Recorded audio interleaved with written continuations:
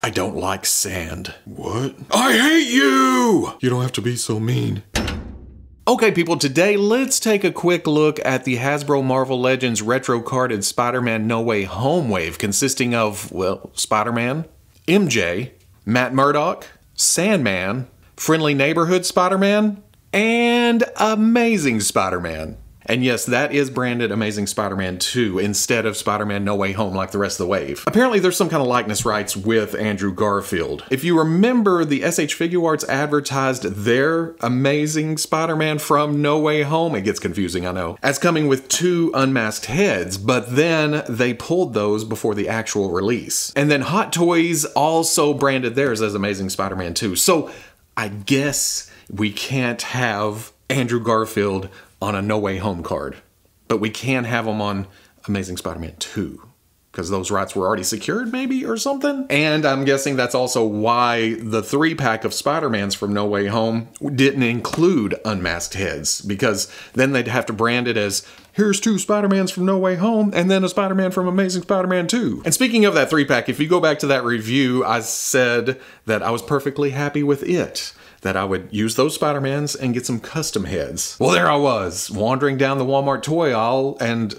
there's the whole wave just staring me in the face. And I hadn't bought many Marvel Legends in the past few months, so I thought, to hell with it. Plus, they're cinematic Spider-Mans. They're all iconic, no matter what anybody thinks of any certain one. They have their place in history. So, me having a set that is masked, I can put that in one place, and then them hanging around unmasked, I can put that in another place, my toys. I do what I want. Looking at the packages, like I said, they're all branded No Way Home with the yellow starburst, except for Andrew Garfield. There's a blue in the background. On the back of every No Way Home package, there is a No Way Home poster. Seems kind of obvious to do, so. But on the back of Amazing Spider-Man 2 packaging, there is an Amazing Spider-Man 2 poster. Again, why wouldn't they? Then, as always, there's bios on each character on the back of the package. There's Matt Murdock, there's Amazing Spider Man, Spider Man, Friendly Neighborhood Spider Man, MJ, and then Sandman. ah, no! Since these two Spider-Mans are about 95, 96, 97% reuse, and I've already reviewed each of them, we'll take a quick look at those first.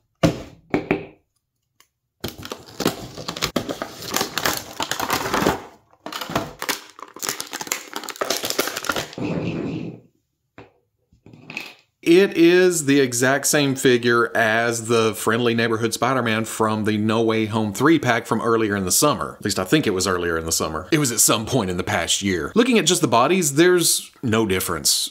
Not really. Doing this, can you tell which one's the retro carded and which one's the 3 pack? Because I switched them around. this is the retro carded. The silver web lines may be ever so slightly, well I don't know. Now that I get this zoomed in, look right here. It does kind of look like they're slightly thicker thicker. And thicker means better coverage because on the first one it was silvery, but if you would turn away because of the sculpted lines, the silver would kind of disappear, like it was missing. Then you turn towards it and oh no, there it is. On the retro card, it still kind of does that, but not as much. And in other places, it doesn't really look different. I don't know. Maybe it's a little bit more solid. It's definitely hanging down a little bit more at the top of the booties because well, I don't know. Again, the line is slightly thicker and it makes it more apparent. It doesn't get lost as much in the sculpt. So there is a difference in paints. Not much. You got to go looking for it. But yeah, that is me really digging for differences. Before we get any further, the pointy fingers did not come with that three pack version. Crafty Gecko sent these to me for a playday and you're going to see him again here in a minute with Andrew Garfield. The big, huge apparent difference is the unmasked Tobey Maguire head. This is good. It is very, very good. I just don't feel it represents his age in No Way Home. I think this is kind of a younger look, but it works for both, really, because you get back here it's not a huge difference. I just feel like it could be like 2% smaller, maybe 3. Another thing I said during the first review was I was worried about the figure coming off frumpy, but once I got it in hand and going back to the movie, Tobey does have kind of that rectangle shape. It's not like hyper superhero proportions. It's just, uh, uh, you know, an athletic guy in a skin tight suit. I do wish the legs went together more. That's one of my gripes. Going over articulation, there is a dumbbell joint at the top of the neck. Can look up and down, not quite as much as you want a Spider-Man to look, but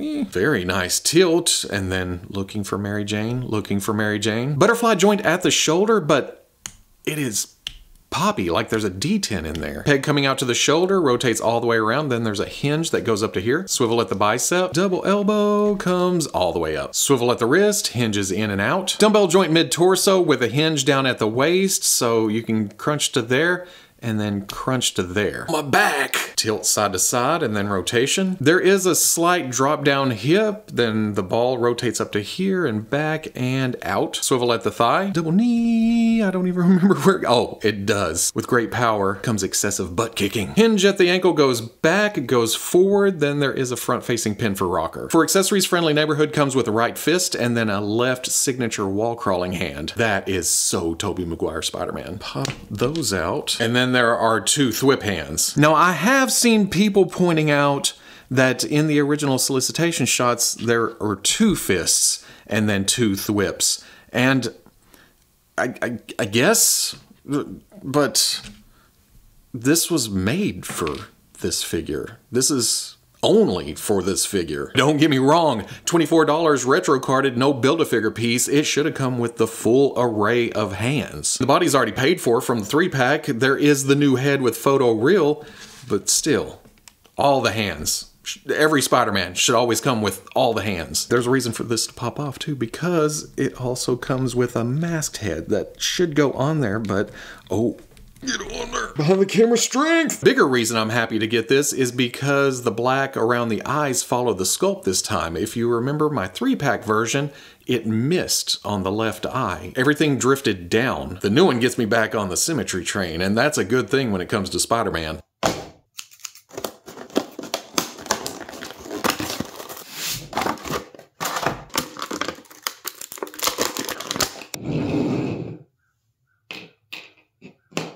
With the Andrew Garfield Amazing Spider-Man, I am really fighting the urge to say everything I just said about Tobey applies here too. Because it does. The body is complete reuse of the 3-pack Amazing Spider-Man. We're gonna play this game again. Which one's the 3-pack? Which one's the retro carded?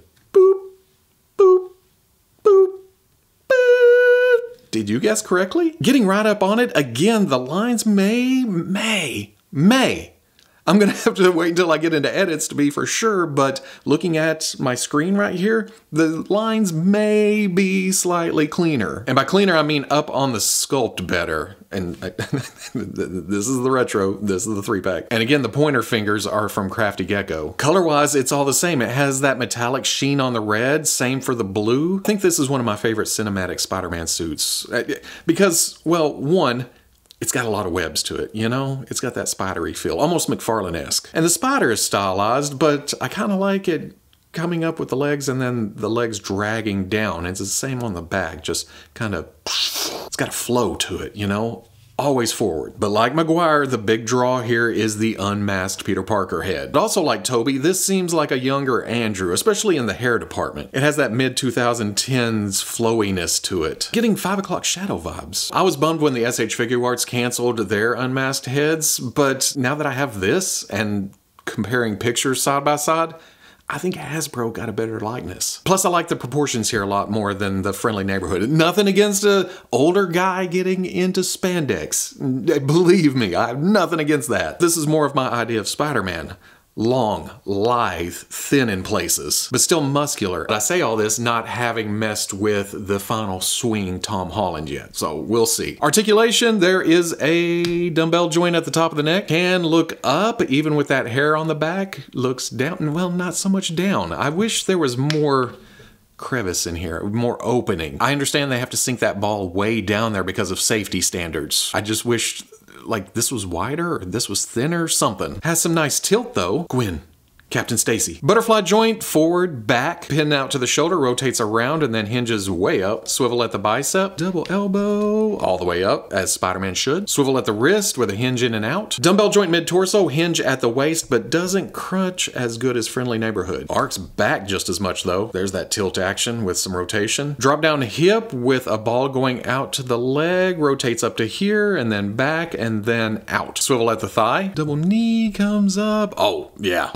Hinge at the ankle goes whoa, way back, then forward, not bad at all, and front facing pin for rocker. For accessories, there are two thwip hands, then there is a right fist and a left uh, angsty McFarlane-esque hand. Again, this was sculpted specifically for this figure, but me saying that doesn't hold a lot of weight because all the hands for this figure was sculpted specifically for this figure because of the web pattern. So again, 20 well i said 24 a minute ago didn't i? Or did i? Either way $25 retro carded no build a figure piece should come with all the hands. Does come with the masked head though. And i don't think i noticed it the first time but this is my three pack version. Again it's kind of hard to tell. I got to keep them separated with the pointy finger. You can see the left eye missing again. On my retro carded one it's up on the eyes and the lines come to the center. Yeah this is improved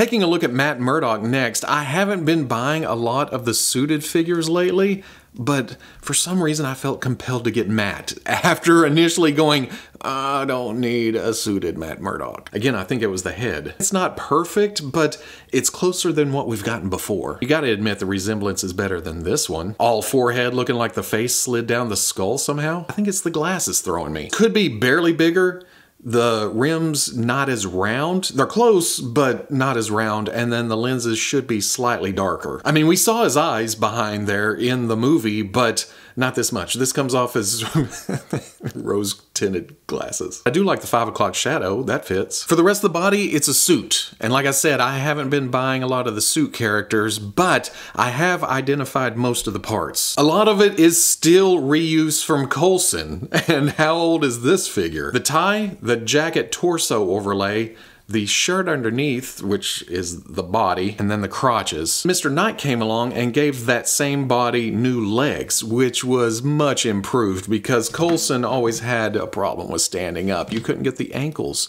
to go forward much. The Mr. Knight legs, because they're angled up right here, gives the older shoes much more range of movement, forward and back. So Matty has no problem standing up. The only thing I can't identify are the arms. They're not Coulson's, there's less sculpt, less wrinkles. They're not Mr. Knight's, if you could see it in that bright white. He uses the uh, Captain Marvel Nick Fury arms. Foggy's are thicker. I know it's happy. He was foggy at one point and they go together. So I'm not sure if they're reused from some figure I didn't get or if they're new. Or if they are from a figure I have that's in a tub somewhere. I don't know. I can't get the tie to straighten out. I guess I gotta hit it with some heat. Although that is kind of a Matt Murdock thing to do, right? I mean, just off to the side. Don't care. These are my work clothes. I'm ready to be Daredevil. Oh, spoiler for those of you who don't know. Going over articulation at the top of the neck, there is a hinge with a ball going up into the head. There is some movement at the bottom of the neck inside the shirt, but I think that's to swap necks between characters so they can use this suit body for a lot of different people. Can look up, can look down, some tilt. Object, sustained. Pin coming out to the shoulder rotates around with a hinge that comes up to there. Swivel at the bicep. Double elbow, surprisingly comes all the way up. I just noticed the elbows are pinless too, so they have to be from either a newer figure or new for this figure. Swivel at the wrist with a hinge in and out. Hinge at the mid-torso, crunches, arcs back. Swivel at the waist. Ball coming out to the hip, swings up, swings back, swings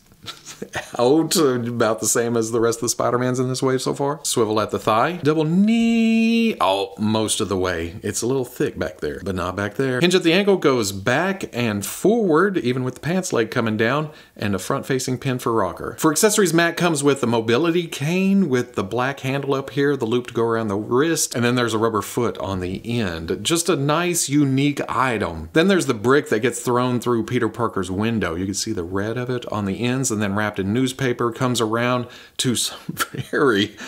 Somebody's angry. We believe Mysterio!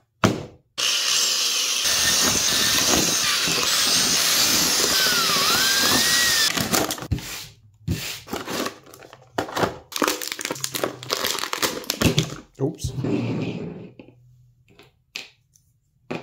For MJ, it's another case of me not knowing if a lot of these parts are reuse or brand new just for this figure. I have the 2-pack MJ, and a lot of that body was Jessica Jones. But the details don't match the new figure, I say as I put them side by side and realize that the legs are reuse. Here's all you gotta do to trick me, paint the sock white instead of black, and I think they're brand new footwear. Hasbro, you didn't paint the buckle on the new one, you painted the old one. What's going on there? So, okay, that's the mystery of the legs. Once you get above that, though, they don't match. The retro carded figure's pants ride a little higher. then, obviously, the arms are completely different. She's wearing this bulkier sweater. Wade's gonna hate that with the white showing through, but in normal position, you can't see in there. The arm peg going into the torso though is gummy. You saw a minute ago when I tried to put the arm down, it just kind of flexed. I have to push up and then hinge it in to get the arms down to the side. The torso overlay sweater part is not flexible at all. You can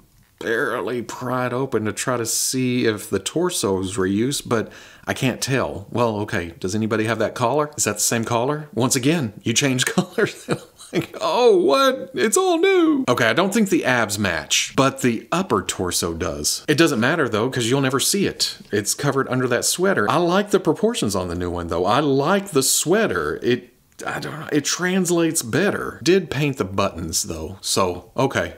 That's a little extra mile. Also, the stripes on the sweater aren't bad at all. Up at the head, it's definitely not reuse of this one, but the two-pack MJ also came with an alternate head that I have misplaced somewhere, and I can't seem to find it. Side by side with a picture, though, she seems to have that same serious, determined, could be confused for angry, but not quite look on her face. I think it may be the same sculpt with a different paint application, and then, of course, different hair on top. And I'm gonna say this is a good likeness. The eyes, they nailed the eyes. You know the biggest way to tell if this is reuse? There's a hinge right there. The newer figures have dumbbell joints for the most part, so this is matching. There you go. I also want to point out the sculpt of the hair. The braids, very nice looking. Back to the ponytail, hanging down with some lighter brown dry brushing on top. This works completely. Going over articulation, there is, well, I just showed you, there's a hinge with a ball going up into the head. Ponytail is flexy, so it gets out of the way of up, and then she can look way down. Eh, not bad tilt. You're not Peter. Neither are you. Pin coming out to the shoulder rotates around and then hinges up. Oh, okay. That part of the sculpt right there tends to catch on the torso. If you push down a little bit, thanks to the flexiness of the peg, you can bring it up further. That's not me making excuses for gumminess, but it does work in its favor. Hinge and swivel at the elbow comes up past 90, even with the puffy sleeve. Then rotates, swivel at the wrist with a hinge in and out. Dumbbell joint mid-torso hidden underneath that overlay does get nice hula hoop action. Ball coming out to the hip, comes up to there, goes back none, and then out, swivel at the thigh. Double knee, again, a big determining factor that these are reuses that there's pins. I don't know why I didn't look at that a minute ago. But double knee comes up all the way. Hinge at the ankle goes back, goes way forward, and then front facing pin for rocker. For accessories, MJ comes with two fists, and those can be replaced with uh, relaxed hands, gesturing hands, or holding hands, depending on what you want to use them for. Because she also comes with this, the big reason for No Way Home. I forgot the name of it. Very, very nice sculpt. The outer sides are very Doctor Strangey, and then the inside is a different plastic, giving it kind of a patina, a metal, aged look. But it looks good being held in those alternate hands.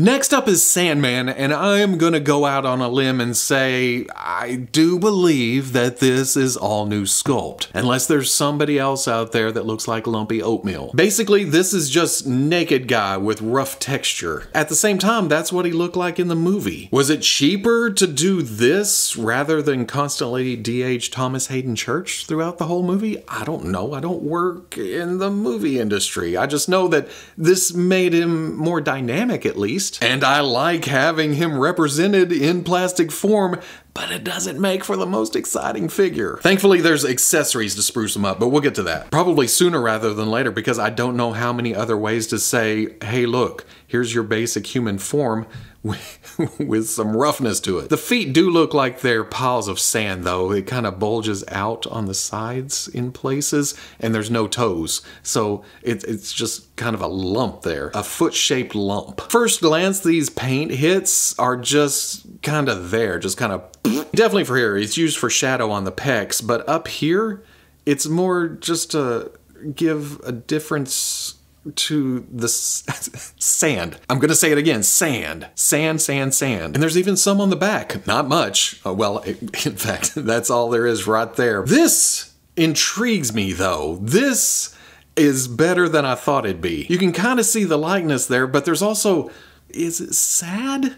Why does this make me feel emotions? And this won't come as a surprise to anybody, but I do like this more than I thought I would. It's a sand man to go with my Spider-Man stuff. That's exactly what I wanted. Articulation wise, there's the newer dumbbell joint at the top of the neck. Can look up, and now that I've got a close up to the profile, I, is that John Cena?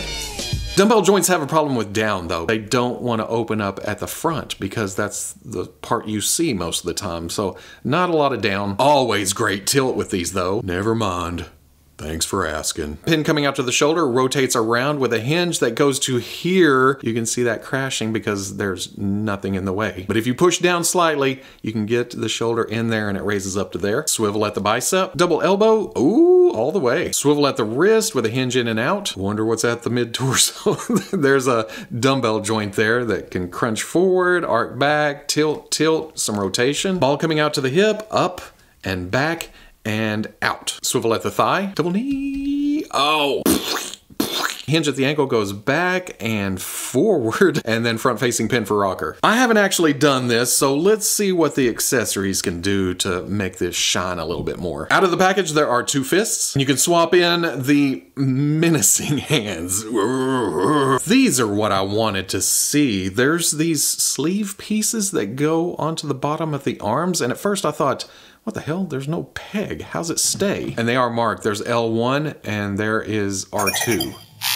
Just put them on there, and then the big sand hands have extra long pegs to go through and, okay, yeah, that works. Not as sprucey as I was hoping for, but it definitely jazzes it up. I think, once again, coming back to the face, he can get all stretchy and stuff, but then he's just, you know, kind of, well, here we go. I guess we're gonna fight. Angry Head would have went a long way here. If you have this comic book Sandman, you can take the hands and plug it into the MCU Sandman sockets, but you can't use the cover pieces. The pegs aren't long enough to go all the way through the sleeve into the arm. That and the color is just barely off. With a little modding though, anything is possible.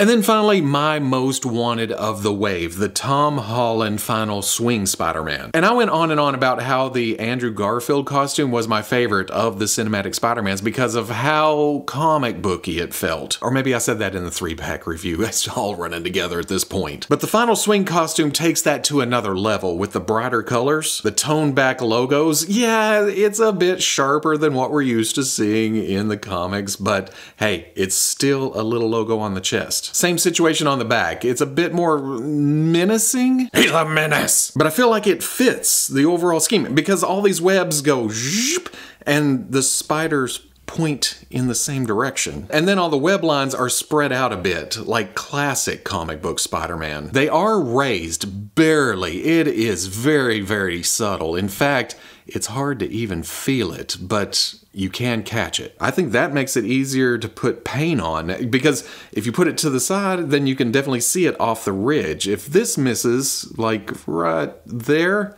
it's hard to see. It's definitely not as noticeable as the other two. Got a V at the top of the boot on the front and on the back. I'm not sure if those painted lines are supposed to go around the edge, but those are a little low if they were supposed to. Then there is a texture to the red. Again, very, very slight, very subtle, but it's nice because it kind of spices up the dullness of that red. You get to the blues and it is smooth, but there is almost a metallicness to it. There is a sheen. Now, as far as the accuracy of those colors. In the movie, when he's swinging, it goes from very dark parts to very bright spotlight shining on them. So one minute it's dark and then the next it's very bright, almost tealish greenish blue. I'm gonna go with the material that was sitting on the sewing machine and that is pretty dark but shiny. I feel like this is a nice compromise, an in-between color, kind of simulating the city lights shining off of them. You could also display them in the dark, and well, it's hard to do here, but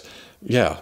I'm going to say it's fairly accurate. The unmasked head is nice to get because it wasn't included in the three pack, but it is not a new sculpt. It was included with this Peter Parker in the two pack with Ned Leeds. No, not this head. It was an alternate head. Same sculpt, updated paint job. There is absolutely nothing wrong with this, but this feels a little more natural, like they tuned the photo real a little bit better. And then the hair is slightly lighter. It's got a dry brush of brown on top. Overall, I like the proportions and more than that, Hasbro fixed the size. I didn't keep up with Holland's height throughout the movies. All I know is that he is now listed as 5 foot 8. So when I first got this out of the package and compared it to an older Spider-Man, I thought, holy hell, why'd they make him so big? Then I brought in the Tobey Maguire figure who is also 5'8", and I realized, oh, Hasbro brought him up to almost the same height. He is still just slightly shorter, but it's much closer than the three pack. The hands are a little large proportionally, but yeah. Then you bring in Garfield, who's 5'10, and this seems way more accurate. I'll get a better look at this in size and comparisons, but I wanted to go over it while I was holding Spider-Man himself and the Spider-Mans. And while I have it laying here, this is the exact same height as the Peter Parker figure. So these two are perfectly matched. They're perfectly paired. Paired Peter Parkers. There is a dumbbell joint at the top of the neck, allows for some up, and again, down is hindered. Tilt is the star of the show with dumbbells. Peter 2, Peter 3. Butterfly joint at the shoulder goes back, goes forward. Pin going to the arm rotates around and then hinges up. Swivel at the bicep. Double elbow all the way up. In fact, there's still room for movement because you go here, you can bring the bottom joint up to there, which is better than a lot of single joints. Swivel at the wrist with a hinge in and out. Same as the other Spideys, dumbbell in the middle, hinge at the waist. This comes to here and then this comes to here. Still not as good as Maguire, but still crunchy and doesn't arc back as far as the other two either. Give me some of that tilt side to side and then rotate. Drop down at the hip with the ball going into the leg, rotates up to here, and there is a little bit of flexi. I don't see anything stressing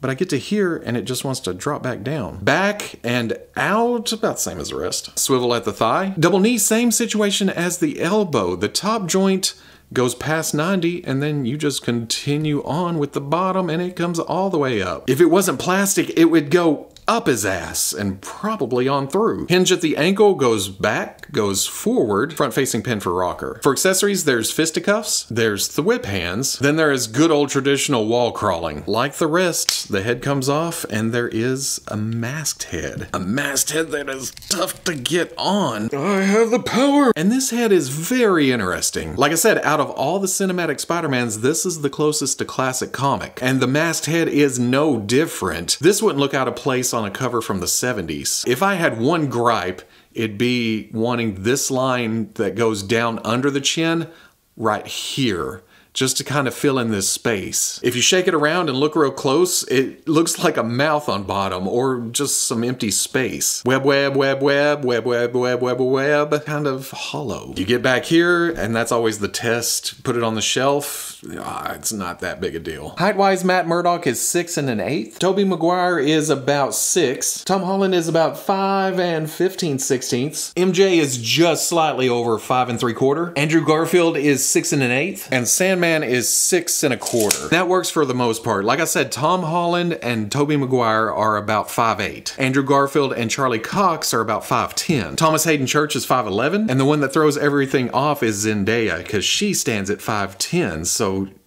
she should be as tall as Andrew. But I also understand in the movies they can be any height they want. They can make him taller, him shorter, whatever. So going by the actor's heights is just a baseline for me. What it comes down to is relative scale. He should be taller, shorter, this, that, or how they're portrayed for the most part. Like I said, Hasbro's given Holland a little more height over his older figures, and then MJ's actually lost a little. But bring in Ned and Happy, and this totally works. This is a display right here. And the unmasked Holland head does fit on the three pack body, so you can do this. Here's Sandman with a couple of Marvel Legends comic Sandmans. Most exciting paint apps ever. Finally, there's Matt Murdock with Jessica Jones and the Marvel Legends Netflix Daredevil body under the Mezco 112th Collective Netflix Daredevil head. I just like that a lot better than the Marvel Legends version. Oh yeah, and here he is next to She-Hulk. So at the end of the day, even though I have everyone posed like it's a group photo for the yearbook, I am excited to have all these characters. Now granted, I already had the three pack, so I already had a costumed up Andrew Garfield and Tobey Maguire, and then quite a few Tom Hollands, but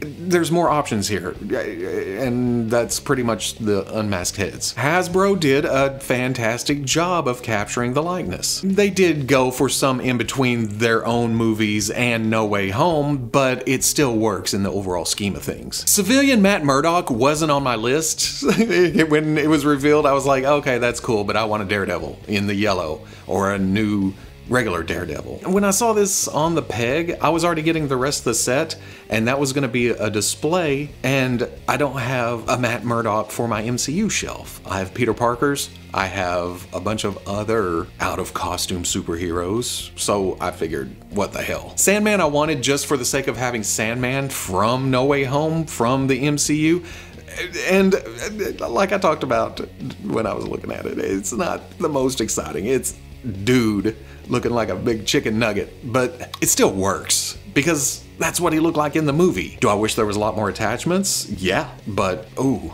Need some 3D print stuff going on because that would be pretty easy to paint, huh? I like this newer version of MJ over the old one because, well, I guess it comes down to that sweater. It just adds something that I don't have on the shelf. But my most anticipated was Final Swing Tom Holland, and it doesn't disappoint. Could it be more Spider-Man-y? I think so, like toe joints or legs coming up further, more crunch. I don't know. The only thing I do know is that I enjoyed these. I do feel a tinge of regret with the three pack. But like I said, there's display options. I can display those all masked up over to the side, over in their own thing, and then these guys are hanging out with the rest of the universe. I, there's options. Because if I just bought this Garfield or this Maguire, I could only display them one or the other, masked or unmasked. So I'll probably leave these guys like this and then take, since both of their mastheads were better than the mastheads I got with the three pack, those will go on those bodies, and then I'm happy. it's hard to make me not happy, but I'm happy. I think this is my main display Holland though, because man, can't beat that costume. I, I feel like I grew up with that costume, and it's taken this long to come back around to it with what I see in the movies, you know? So that is very, very cool. It's like a return, a back to basics. And I'm excited to see where that goes. And I'm excited to see where I put these because I've got to move some stuff around to actually get them in the display. But oh, the trials and tribulations of being a collector.